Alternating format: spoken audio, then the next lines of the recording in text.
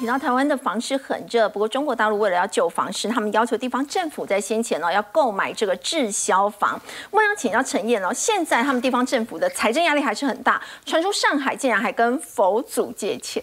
如果我讲上海市有财务问题，应该没有人会相信吧？对啊，它是魔都哎，是。可是真的上海真的传传出财务问题，上海财政局哦，这个是消消息人士是上海财政局来的，他说上海要求辖区内的谁不是大小企业，是寺庙，寺庙，阿弥陀佛，好，来借一百亿哦，人民币一百亿。那当然，上海市相关部门马上否认，没有没有没有，哦，原来借五百五百。不是不是一千，好这么多了哈。那其中静安寺啊，因为静安寺其实它是在最黄金黄金地段，就我们所谓的蛋黄区。刚才廷浩讲那种蛋黄，那是蛋黄中的蛋黄。对，所以它它可以贡献四百四十八亿。当然这是借，当然以后还不还不知道。嗯但四十八亿，所以有没有这件事？应该是有。嗯。而且不止上海哦，天津啊，天津也是也是大城市一线城市啊。河北区有四个区政府现在。财务资金怎么办？大家都把脑筋动到寺庙身上，哦，不止一次哦，跟这个大悲禅师这个住持借钱，当然被拒绝，因为大悲禅师说，我还需要出去募集资金呢，你怎么会跟我借钱？可是到底寺院是不是真的有钱，我们不知道。可是没有借是事实，借一次没有借到没关系，我再给你一次一些机会，第二次再借，还是被拒绝哦，那怎么办？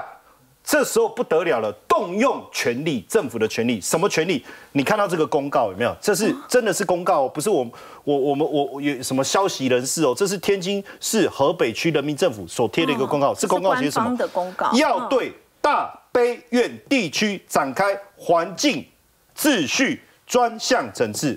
天哪！所以我就跟你讲嘛，下次他跟你借钱，你你不能这样子，你就说要多少？五亿，所以没借到就有点像查水表这样，相当麻烦。好，所以财务危机的问题，包括挪挪用学生的营养餐费来还债，这也很夸张。这个也很夸张，要干嘛？就是挪用挪拿来做地方债务。但在这当中，我们要再去证明一件事：为什么寺庙真的很有钱？大家都知道，河南嵩山少林是少天下武功出少林，对不对？房地产愁云惨雾，谁去标地？少林寺哎，出多少钱？我跟你讲，这是一个商业用地哦，多少？四点五二亿。那我问你，它标下来，这个是人民币，人民币。哎，我再讲一次，大家都说没钱，对不对？房地产市场产产这么有钱，这么有钱，未来它标下来盖电影院、盖体育馆场馆，干嘛？播少林足球，对不对？然后一起打太极拳啊，太极拳好像不是少林寺，对不起，讲错了，铁头功，对不对？好，这样子。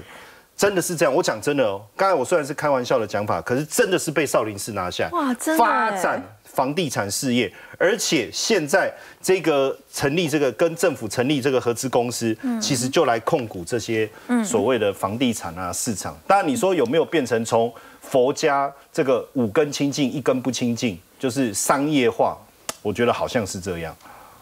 好，我们先休息一下，稍来看到，刚刚我们前面有提到的这个背面电轨是台积电最强黑科技哦。那么有这些相关的供应链，在最近价量齐扬之后的股价怎么留意呢？我们稍后为您报道。